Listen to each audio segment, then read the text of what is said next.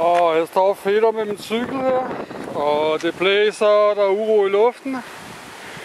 Og der er lige kørt bil ind på Frederiksdal Gods, så jeg gider ikke at lege tv mere.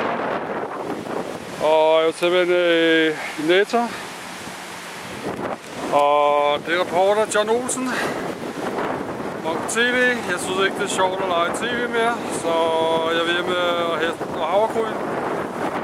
Og det blæser, der er uro i luften, og jeg står og taber alle mine ting og rygsæk og cykel. Så jeg slukker kameraet her. Og så vil jeg cykle i Netto efter mælk. Og der er en vindmølle herude.